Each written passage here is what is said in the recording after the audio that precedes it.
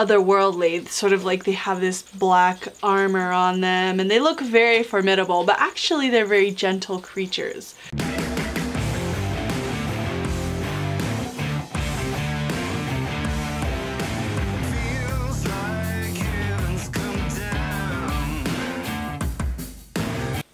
Deadly Tarantula Girl coming to you from my private serpentarium tonight to bring you some interesting invertebrate behavior. This is a video that I have not filmed a lot about and this video is about Mastigoproctus giganteus, also known as vinegaroon. So this is an animal that's native to the American Southwest. They have them here in New Mexico, Texas, and Arizona. The ones that we have do get pretty big. I'm acting like, you know, big fish story. You know, big. And the two that I have, which I suspect are male and female, but I don't know that for sure. This animal is certainly not my specialty, so if you have more knowledge about them, I would love to hear from you and see what you have to say. Anyway, I witnessed what I believe to be a breeding ritual behavior, and so today we're going to throw this what appear to be probably a male and female together and see what happens. Now from what I know they're not going to breed for us on camera because it's a long drawn out process. However, I am hoping to capture some of the dancing that I witnessed earlier before we started filming because it was very interesting and neat to see. So I hope you guys get to see a little bit of what I saw earlier let's take a stab at it. Okay, so this is her enclosure here. And uh, without freaking him out too much, just gonna scoop him up. And you can see they're both at a really nice body weight and he's kind of funny. He's not wanting to get off my hand. There he goes. And so, yeah. Look how cute they are. Okay. Let me get my tongs just in case someone tries to die.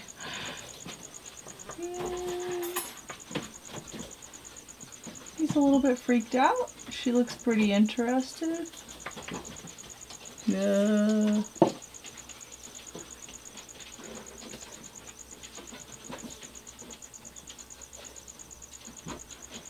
Okay.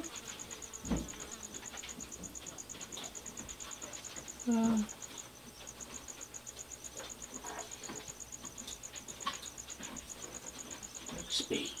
well. Just watching them. She's opening her pinchers really wide. Uh, so is he. Okay. Uh, oh look, look, he's doing it! He's doing it! Look, he's wagging his little tail. Oh my gosh. Um, hopefully those are hugging arms and not cannibalistic eating arms that she's opening. Uh, from what I know, if they're interested, they'll both start backing up. Uh, I'm I'm perceiving this as peaceful, romantic behavior. They're both well fed, so I don't foresee them cannibalizing. And she's a big mama.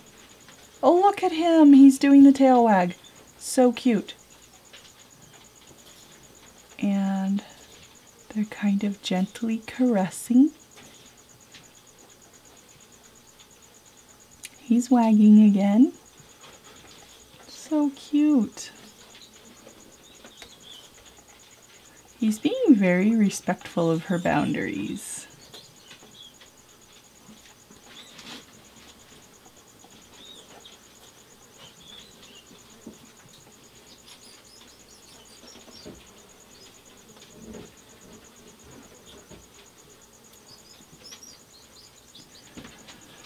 Well, what I'm seeing right now is them just kind of taking each other in she keeps kind of reaching out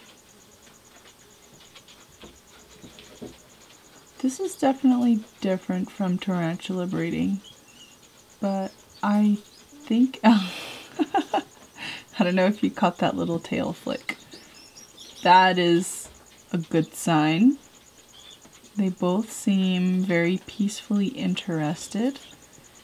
And as I mentioned, their mating rituals take hours and hours and hours.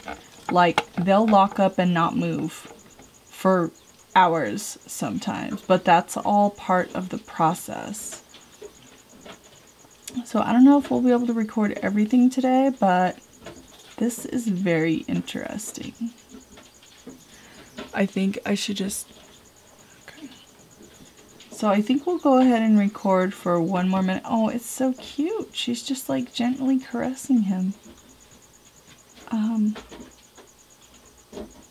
yeah, so we're going to go ahead and record for one more minute. And then I think I... Yeah, Oh, that's so sweet. They're being so gentle. They're so cute. I'm dying to see what what what's gonna happen next. Okay. so she closed her pinchers and now his is wide his are wide open. Baby come back.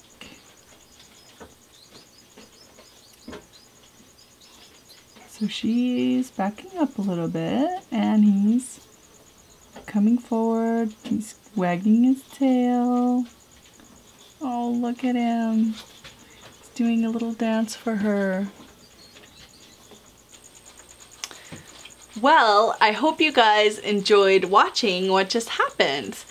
Earlier, when I was watching them, I saw him doing the tail wagging, which was so interesting. That's something that I've never witnessed before. And I know that in the wild, vinegaroons are very solitary. And so my primary concern was, regardless of what we saw, that they both make it out alive, which they did.